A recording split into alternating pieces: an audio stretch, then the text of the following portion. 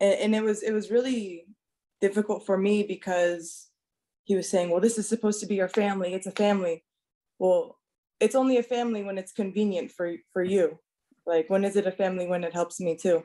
Angel Reese trying to recruit Gabby Williams to uh, come back to the Chicago Sky. Guys, let's get into this. Let's get into this conversation because um, Gabby Williams put on an absolute show at the Olympics.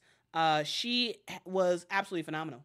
When we talk about when we talk about um, really good players, um, especially internationally, Gabby Williams needs to be on that list because she she's just great.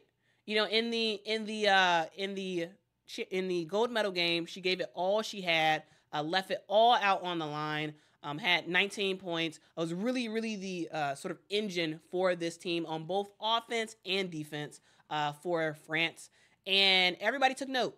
Everybody took note of what Gabby Williams uh, was doing, not just in that in that um, that gold medal game, but overall uh, for the Olympics. She averaged 15.5 points a game. Uh, she was a huge catalyst for this team on on their defensive intensity, getting steals, um, just, just, sort of hustling, just sort of being around, uh, getting hands in in in, uh, in, pathways. And then and then when it came to uh, offense, she was a scorer. She was an absolute scorer. Um, and so that was huge for France as well. And so a lot of people were like, "Hey, Gabby Williams is straight up balling. Why isn't she in the WNBA? What's going on? She was with the Chicago Sky. Will she will she ever come back to the Chicago Sky? Like, what's going on in that?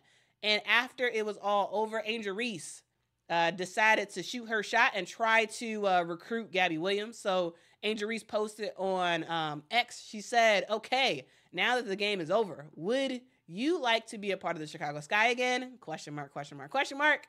Um, adding Gabby Williams and saying, thought it wouldn't hurt to try. And Gabby Williams responds and says, or we could just play together for a different organization. Is that a is that a wink wink nudge nudge at Unrivaled? Question mark. Hmm, maybe, but we'll move on. We'll move on.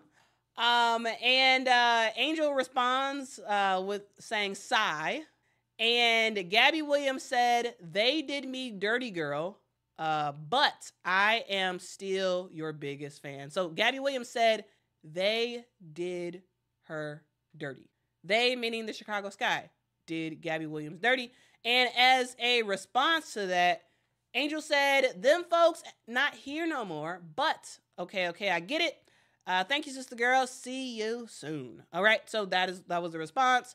Um, now, guys, uh, after Gabby Williams said that the Chicago Sky did her dirty. There was a lot of people like, what? What did the Chicago Sky do? What did they do? Um, and um, when I was sort of looking at sort of recent articles uh, talking about Gabby Williams, um, I saw them sort of make um, like sort of like one line comments about uh, you know uh, James Wade and um, and feeling like uh, Gabby Williams wasn't committed, and that was it. That that that was it. And I was like, no, there's way more to this story. There's way more to this Gabby Williams, uh, Chicago Sky story than just James Wade uh, didn't think that Gabby Williams was committed. There's way more to this story. And I am going to d- dive deep into this story because I, I was here when this happened. Um, I was I was a pretty big fan of Gabby Williams, and um, yeah. So uh, we're going to do a deep dive into why exactly Gabby Williams, um, you know, went away from the Chicago Sky uh, and what actually happened. Okay. Uh, so that's the question. What did the Chicago Sky do to Gabby Williams? Uh, what did they do? Well, um, to give you a little bit of a backstory about Gabby Williams and the Chicago Sky, um, Gabby Williams uh, was a standout player at UConn. Um, she she ultimately she ultimately did get drafted um, in the WNBA, um, and you know when she got when she got drafted to the WNBA, she was um, she was actually drafted by the Chicago Sky. Now, um, the thing about the thing about Gabby Williams, she drafted the Chicago Sky. She played for the team for three years. All right, and then some stuff started to happen. Um, then um, prioritization started to become a factor. And James Wade ultimately is the reason why Gabby Williams left the Chicago Sky. So let's get into what exactly happened between James Wade and Gabby Williams. Um, all right, so in 2021, um, James Wade placed Gabby Williams on a full suspension. He put her on the full suspension list uh, for the entire year, and this is this is what happened. I, I believe this was in May of 2021 that this happened. Now, um, to sort of put this in context, he put her on the full season suspension list after um, she was selected to the French national team uh, roster for the FIBA Women's Eurobasket. So, a thing to know about a lot of WNBA players, uh, well, not a lot, a significant amount of WNBA players, is that uh, a good amount of them have some sort of um, some sort of connection uh, to Eurobasket um, and uh, and uh, and that sort of thing. So so they're they're uh, citizens of another country and they play in EuroBasket and EuroBasket does take place during the WNBA season. So WNBA players will have to miss a little bit.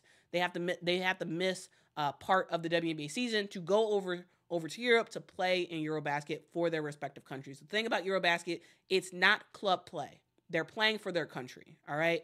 Uh, so so uh, countries play in EuroBasket and uh, the French national team announced that uh, Gabby Williams was going to be on their squad. Now, guys, James Wade, for those who do not know who James Wade is, he was the Chicago Sky coach and GM at the time. Now, uh, the coach and GM role is something that is not a thing really in the WNBA anymore. We used to have uh, where basically all of the coaches uh, for the WNBA were also GMs. Uh, that was due to monetary reasons, like WNBA didn't have teams didn't have enough money to sort of p- to pay um, a separate GM and a separate coach, so they had the person do both roles, and that's what James Wade did. James Wade was the uh, head coach and GM of the Chicago Sky at the time that this was happening. So he placed her on uh, the full suspension list, um, and so let's sort of dig into specifically why he did that. All right. And again, guys, I am putting my sources on all of this stuff. So y'all can go back and fact check me. And guys, this is um this is based off of reporting from Annie Costabile back in 2021. All right. Uh, so this is this is all sort of old material. I am not using new material uh, when talking about this situation because, guys, one, I was like partial, I like partially remember some stuff about this, and also because um, I find that when you're talking about old stuff, it's not helpful to look at new sources because people forget what happened. Okay. Um, all right, let's continue on. Let's continue on. So, so uh, let's talk more about this story. So, um, James Wade said at the time that he was fine with Gabby Williams participating. Um, according to James Wade, it was not a problem. Um, Gabby Williams playing for the French national team was not a problem when it came to uh, when it came to um, uh, when it when it came to uh, you know, being on the roster. That was not the problem. That was not the problem at all. The problem that James Wade had was that Astou Fall um, was another player uh, in the in the, in with the Chicago Sky who was also going to be playing in EuroBasket. And Astou Fall, what she decided to do is she said, "I will participate in training camp, then I'll go overseas, go to EuroBasket, then I'll come back." Um, so Astou Fall was going was planning on doing that. Gabby Williams uh, did not want to do that. So James Wade said, "Fine, you can go. You can go over there, but." Um, and this is according to um, the Chicago Sun Times reporting at the time.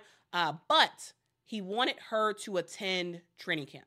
So he was like, "Hey, you can go play for France. That's fine, but you must come to training camp and then leave um, to go and compete with the French national team." All right. Um, and this is what James Wade said at the time. He said that quote quotes she didn't want to do that. So James Wade, according to him, at the time in 2021, said that he was cool. Go over there, go over there if you want, um, and, and you can play for the French national team, but you must come to training camp. You must come to training camp, and then you can go and then come back. Uh, but according to him, she didn't want to do that. Um, and um, James Wade, again according to him, uh, said that um, he that that the Gabby Williams knew her and her camp knew that if um, if she was not going to begin the season with the Chicago Sky, that he was going to put her on the full suspension list. All right, so it's like, hey, if you're not gonna if you're not gonna be here at the beginning of the season, I'm gonna suspend you. Okay. Uh, I am I am going to suspend you because we don't have enough players and we cannot afford to be down another player. All right. So that's kind of that's kind of the what he was saying at the time. Um, so he's he supposedly he told her camp that that hey, if she's not here at the beginning of the season, she will be suspended. All right. Um, and um, she uh, was not going to be there at the beginning of the season. Um, and at this time, while this stuff was happening, while this stuff was happening, the Chicago Sky was trying to trade Gabby Williams. All right. Uh, so so while all of this stuff was happening, um, the the WNBA draft happens. Uh, during the WNBA draft, the Chicago Sky was trying. The Chicago Sky was trying to shop Gabby Williams during the 2021 WNBA draft. No no takers. Uh, well, they couldn't agree with other teams about about a trade. All right. Um, and uh, you know they were trying to get a trade to happen. Um, and before the suspension, it just wasn't happening. No trade was happening. They were in talks with the LA Sparks uh, before the suspension was made, um, but but no deal was was done just yet. And um, at the time, James Wade said that I was told she would never play for the Chicago Sky again. Uh, so James Wade he suspended her, did a full a full season suspension, um, and after that, he uh, decided to trade Gabby Williams to the LA Sparks for um, Stephanie Watts and Leonie Fiebich. All right, so that's sort of uh, sort of what was at the time reported um, again by the Chicago Sky. Uh, so um, yeah, he he made the decision to uh, suspend her uh, because uh, according to him he couldn't be down another player, um, and he would try to he tried to um, sort of get uh, trade options to happen, but uh, unfortunately, no no trades were able to be solidified until she was on that full suspension list. Um, and then uh, you know the Sky and the Sparks were able to agree on a trade. Now, a thing to note, guys, a thing to note is if you are on a full season suspension, there is no coming back from that. So that that's that's the thing that is really the important caveat to know. All right. You know, James called me and asked me not to go to the team. Um, and that really hurt me because James, of all people, should have known how important this was for me. You know, um, said, and, and it was it was really difficult for me because he was saying, "Well, this is supposed to be your family. It's a family." Well, it's only a family when it's convenient for for you like when is it a family when it helps me too? Um i didn't want to ask for the trade but he um he asked to suspend me right away but at the time i had a chance to say no. So he the day after before i even had my dates for france like the day after we found out that i was uh convoqué he asked to suspend my contract and uh, i said no i can't do that. You have to understand this being if it was any other year i could have agreed Mhm. but being my last year on my rookie contract Yeah. i had to i, I couldn't do it from my you know from a career standpoint and uh, i kept hearing you know this is a business this is a business it's a business for me too Yeah. um and then he was getting you know very almost suspicious one day he was angry at me one day oh but you can go i support you. Oh actually you can't. And i had no choice but to ask for a trade. The night of the draft i was expecting to be traded. And uh, of course the night before the final four i was up until like 5 a.m 5 a.m you know getting phone calls from Yeah. people from chicago and everything. And it was the most stressful time of my life. I wasn't eating i wasn't sleeping. Um he was it was uh yeah it was really difficult and ultimately i had to just demand the trade um i, I couldn't be in chicago i realized they you know it, it was a personal decision for my career Hmm. sorry if i'm talking a lot No, no, it's good. No problem. uh and ultimately like uh you know he he called me and suddenly was so supportive of the national team. And I was like, something is going on here Yeah. because he was not supportive before. And that's when I knew he was going to do something behind my back. Unfortunately, I didn't. So I demanded the trade. Unfortunately, he found the one tiny rule that would still find a way to suspend me without my permission. He knew I was going to be gone. He knew the dates of my training camp before. He knew I was going to be in Hungary. So there was no way I could stop the, the suspension. Um, but if I look back, I would do it a million times again. Because what, you know, the chance to hold an Olympic medal in your hands, I mean, just to go to the Olympics. Yeah. Like it's gonna, it's the best experience I've ever had. And uh I, I would I would make the same choice a million times. And although it was really hard for me, um, I definitely made the right choice. I know I did. And I think true colors were shown. So I realized I wasn't with the right organization. And they went to win a championship. So it was clear that they didn't need me anyway. So I didn't understand why he had to go through all of that anyways. I'm like, and I told him, I was like, you don't need me. like, just let me go. So clearly, like, I I was right, you know, and I'm so happy to see Slew, Ali, Z, to Steph, to see them win a championship. I was so happy for them, and I was happy with what you know. It was everybody won. Um, I don't think it needed to be as ugly as it was, but I have zero regrets with how it turned out. Uh, so the, the the important caveat to know is that once the decision was made to put Gabby Williams on the full season suspension list, she couldn't play again that season. So even though uh, even though even once Eurobasket was over, she couldn't come back to the WNBA that season because she was suspended for the full season. Even though she was traded to the LA Sparks, she couldn't play for the LA Sparks that season. She could not play. She could not play for them at all because she was on a full a full season suspension. And that's that's sort of the reason why she doesn't mess with the Chicago Sky because there's no coming back from that. You can't come back from a full season suspension. You're out for the entire season. Um, instead of getting a deal done uh, before that to trade her somewhere else, um, uh, you know, they decided to go for a full season suspension. And guys, it is irreversible. You can't, again, you cannot go back from that. You can't. Um, Ice, you're absolutely right. Yeah, uh, the the suspension was irreversible. So that's that's the issue. That's the that's the big contention right there. Uh, the fact that James Wade put her on a um, uh, put her on a full suspension. So that meant that she wasn't getting paid by the WNBA, even though she was traded to the LA Sparks and was healthy and ready to play. She couldn't do it. She could not do it because she was fully suspended. All right. So that is that is something to know, and that is why she does not mess with the Chicago Sky, um, and that's why she uh, declined Angel Reese's offer.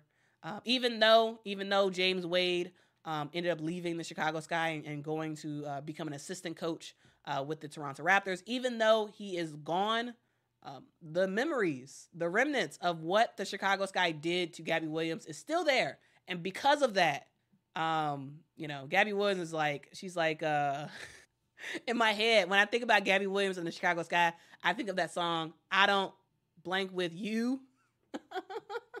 like that's what I think about. That's what I think about is um is that song because uh yeah, she don't mess with us. She don't mess with the Chicago Sky because of that. Uh KA says WNBA folks really be tripping. Um Bill says lose lose. Uh, Zola says James Wade sold all Chicago Sky Draft asset, assets and left us with nothing. Uh, yeah, yeah, it was interesting. Uh, Jeremy said James Wade blanked that experiment up. The 2021 uh, championship was all uh, Candace, Copper, Vandersloot, and Quigley. Um, but yeah, guys, this is uh, this is very uh, very interesting, interesting stuff. I did want to just um, I wanted to uh talk through it. I wanted to uh, I wanted to talk through it with you all to sort of give you all uh, some uh, important context about this situation because I feel like a lot of times people um, people talk about about situations uh, and um, they don't put it in the context of how it was when it happened. And so hopefully this is helpful for you all to give to get a better view of what happened to Gabby Williams uh, when she was with the Chicago Sky. All right, hopefully, hopefully that is helpful uh, for you all. Um, uh, FM says "Queen of the secular music." I, j- I know that song because I feel I feel like they played it at um I don't even know who made that song, but I feel like I like I feel like I've heard that song so many times at like uh, arenas, like sporting arenas, and that's usually where I hear my secular music is at sporting arenas. and they play it so much that it's just now that that it's like you know a, a phantom in my head. I don't know any of the lyrics. I don't know any of the other words to that song. I just know that I don't blank with you. Um, that's basically all I know. uh, Patrice says I don't blame her. Um, uh, yeah, yeah. Um, I I so Toya says I don't blame Gabby for not messing with Chicago anymore. Go where you're celebrated, not tolerated. Uh, Omega says with great power comes great responsibility, and Art Dog says, "Oh, that's double dirty." Yeah.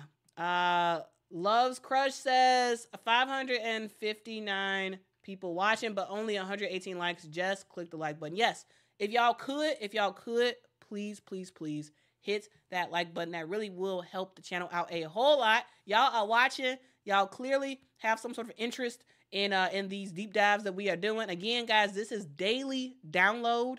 This is daily download.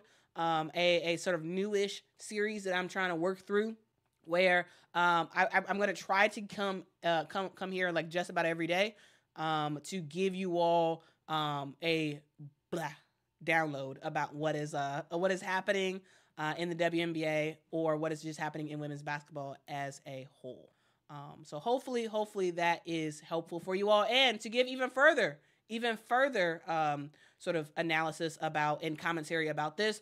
Now, guys, um, you know, back in 2021, this was news. The fact that Gabby Williams was no longer going to be with the Chicago Sky anymore, that was absolutely news, and people had a lot of stuff to. People had questions, and uh, Matt Ellentuck, uh, a WNBA reporter, um, he actually asked James Wade um, a question about Gabby Williams, and he posted it on uh, Twitter back in 2021. Again, guys, all of the stuff I'm talking about is information directly from 2021. All right, from articles, from um, uh, interviews and whatnot that happened in 2021.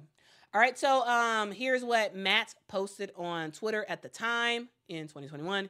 Uh, he asked a question to James Wade saying, Hey, James, I know you declined to talk about it a couple days earlier, but I was wondering if you had an update on Gabby Williams and if you were willing to talk about it if you guys had basically worked something, some sort of agreement out earlier in the season, since you were supportive of her French national team commitment before, and if so, if anything had changed. Now, this was, uh, yeah, so this was the question that Matt had asked uh, James, and James said, No, I know it's not it's right now. Uh, nothing has changed right now.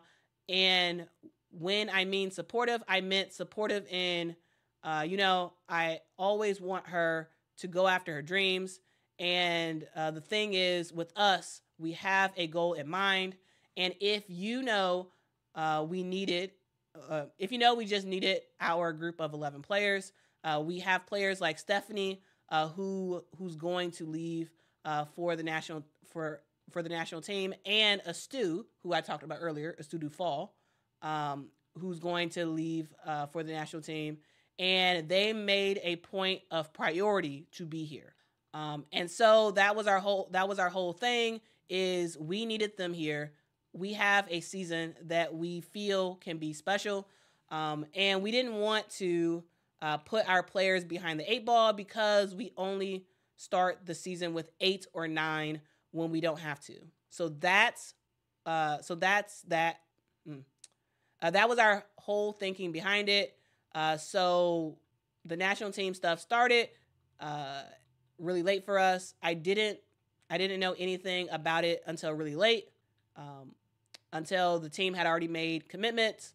Um, my wife had won had has won more than anybody on the French team, so I understand how important it is. It's just uh, I have a job to do, and we um, we just have to have our team together. And the fact that Stephanie and Astou were committed to being here, uh, that's just what it was. You know, um, so that's sort of sort of his thing. He said, "No hard feelings or anything like that. I just have a job to do, and I expect players to do the same." So that's that's basically what uh, what James Wade had to say at the time. Again, um, this was uh, Matt Ellentuck who who asked the who asked the uh, the question. So he's basically saying like, "Hey, I know that uh, that this is a priority for her." Um, to play for the French team, but uh, Stephanie and Astou, they're playing for their uh, their countries, and they were going to be here for for training camp, um, and uh, they put it as a priority for them to be there. Um, Gabby Williams was not going to be there, um, and uh, he just felt like because they were going to be there for for the preseason that they were committed. Um, and you know he has a job to do. He didn't want to have uh, you know a, a small amount of players to start the regular season. So so that that's kind of that's kind of the thing. That's kind of what that's what James Wade had to say at the time again in 2021. All right, thank you so much, James, for the super chat. Really do appreciate that. Says uh, like and subscribe. Yes, y'all. James did a super chat just to ask y'all to like and subscribe. If y'all could do that, that would be absolutely amazing. Uh, Steve O is saying James is not wrong in what he had to say. Uh, Kim, thank you so much for the super chat. Kim says, Quita, could you do a talk on the WNBA expansion draft and how they pick players to be on those teams? Yes, I can have that be a daily download um, soon. All right. Yes, yes, yes. I, I will I will have that be a daily download. All right. Uh, thank y'all so much. Thank y'all so much for those super chats. I really do appreciate it. Um, Dayla says, never comment. Uh, been here since 1K subs. Whoa, you an OG. You an OG awesome person on the internet.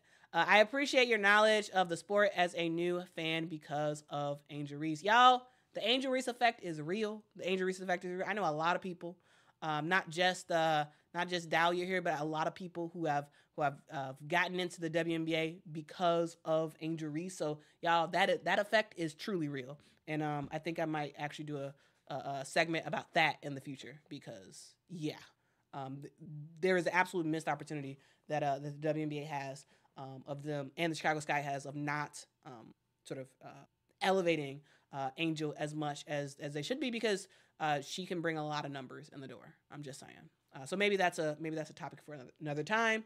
Um, but yeah. So guys, uh, that's the deep dive. That's the deep dive. And my question for you all: Do you think that Gabby Williams will make a comeback in the WNBA? Uh, it's possible. It's possible that she she makes a comeback in the WNBA. I actually think that uh, we might see her decide to do something like Unrivaled. Um, so yeah, I, I, you know that that that's what of my that's what of my thoughts right there. I think she's a fantastic player, um, and would be a huge asset to any WNBA team that that wants her. Um, but I, I don't know. I don't know if she actually comes back to play in the WNBA.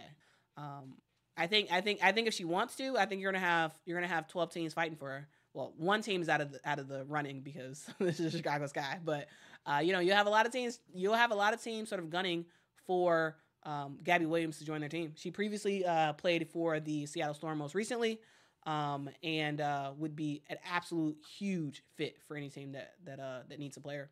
Which all teams need a player like Gabby Williams. Uh, James, thank you so much for the super sticker. This is a Shiba dog writing with a brush, writing number one on a piece of paper. I really appreciate that. Thank you. Thank you, thank you, thank you.